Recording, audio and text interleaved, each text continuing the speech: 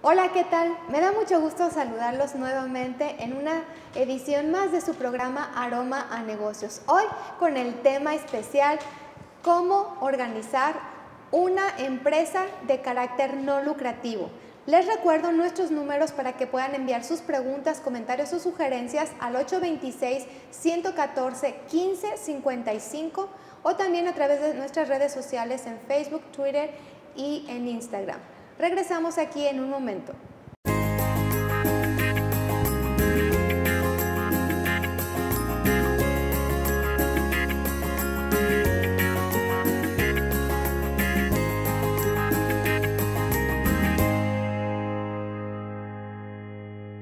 Qué bueno que están de regreso aquí con nosotros. Maestra Thais, ¿cómo estás el día de hoy? Muy bien, muchas gracias Yared. ¿Y tú? Muy bien también. Hoy tenemos un programa muy especial en donde vamos a hablar acerca de este tipo de organizaciones que desde que nacen su propósito no es generar ingresos para los socios, sino generar utilidades para la sociedad. Así que bueno, ¿verdad, Yared? Que haya personas que quieran reunirse para alcanzar un propósito y que ese propósito no sea solamente alcanzar lucro, porque pensamos siempre que las organizaciones tienen esa finalidad, sino que vaya más allá, que vaya desde ese punto social, desde ese punto de vista social, no lucrativo. Qué bueno, ¿verdad?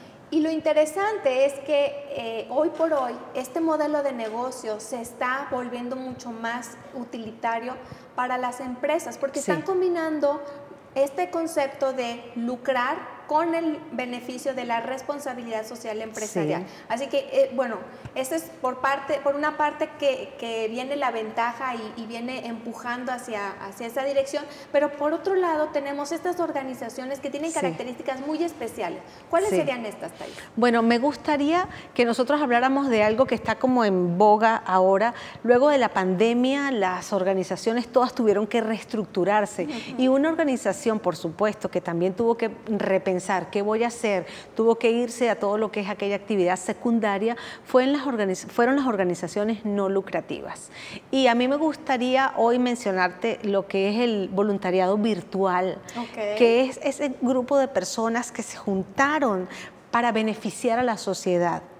Y creo que hay mucho de esto en la actualidad hay personas con diferentes capacidades, habilidades, que de acuerdo a lo que sabían, quisieron brindar ayuda a las organizaciones.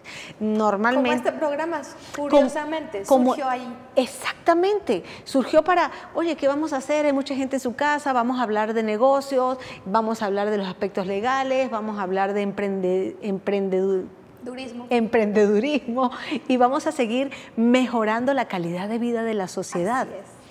El propósito que nosotros debemos perseguir con estos nuevos cambios en las organizaciones no lucrativas es buscar unirnos para beneficiar, como dijimos anteriormente, a la sociedad. Fíjate que ese aspecto colaborativo ha tenido un aumento en la participación eh, activa de todas aquellas personas. Anteriormente se hablaba de un 78.5%. Y aunque uno pudiera decir que 78 pasó a 80, lo comentamos hace un momento, es poco, pero qué bueno que hay un aumento en el número de personas que decidió planificar sus actividades virtuales en beneficio de la sociedad.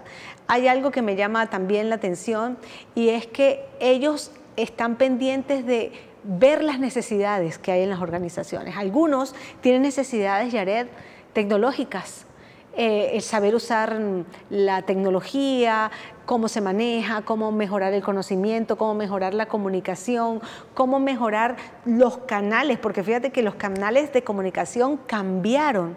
Entonces, en todo este plano virtual, también las organizaciones sin fines de lucro están más eh, presentes que nunca y tuvieron que hacer un cambio porque... De, Ajustarse. Sí, fíjate que una de las características más preponderantes de una organización sin fines de lucro es su presencialidad.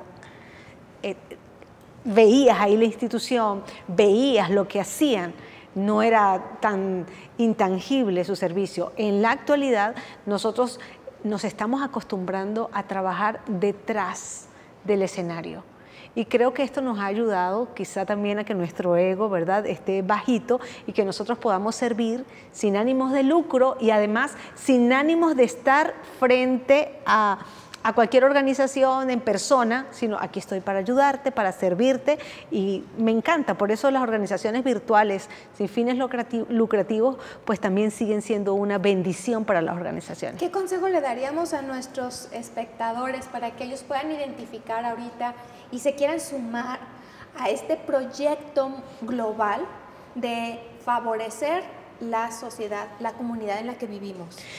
Pienso que lo primero que tenemos que entender es que estamos adaptándonos a una nueva realidad y que con lo que sé y la creatividad que deben hacer cada día, vamos a unir esfuerzos para innovar.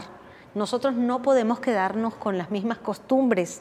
Eh, esta mañana compartías con nosotros un video súper interesante de una universidad donde no hay exámenes, donde los muchachos llevan un, un intensivo de capacitación para programar y luego los dejan programar, pero antes de graduarse ah, ya están, ya tienen trabajo seguro. Son las nuevas tendencias, Jared.